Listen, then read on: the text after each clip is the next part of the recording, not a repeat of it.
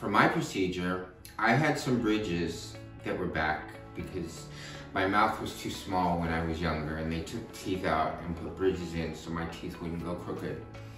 And it was 30 years ago, so it's time for those to be replaced. So we're replacing those with implants.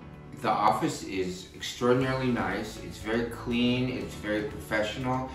Everyone that I have dealt with here in this office was wonderful, from the doctor that diagnosed, to the doctor that did the treatment, to the people that were doing the x-rays, to the great people at the front desk that help keep everything organized.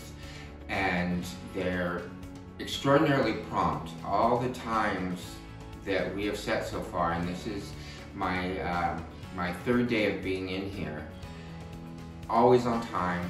The pickups are always on time. It's just a real pleasure. They respect your time and they respect you as a person, and I appreciate that. My partner had the same thing done that I did, but he did it in New York. And this is my face from yesterday, and his face was like this. So it was, couldn't have been more painless for the procedure that I had, and it was efficient, it was well done, and I have, I personally have a lot of faith on the, in the work that they did, and I would highly recommend it.